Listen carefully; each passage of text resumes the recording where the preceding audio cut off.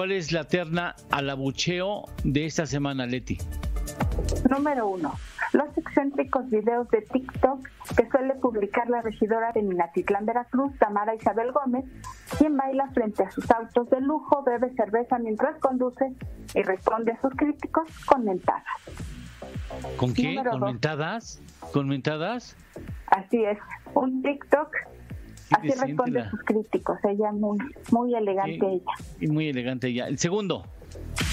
El Mesías en una semana más arribará a tierras tabasqueñas y con su ayuda Tabasco saldrá adelante. Esto dijo Charlie Valentino León Flores, diputado local de Morena, quien desde la tribuna dijo a los más de 600 mil afectados por las inundaciones que el presidente López Obrador pronto llegaría a su tierra. ¿Mesías? ¿Así le pone Mesías? Así lo dijo en la tribuna. Oh, se, se gana una letra de oro ahí en el Congreso Federal, no, no solamente local. Y Número 3. El pensionado, él y solo él, tiene la obligación de ahorrar para aspirar a un futuro digno. El patrón no tiene incentivo alguno para garantizarle una pensión digna.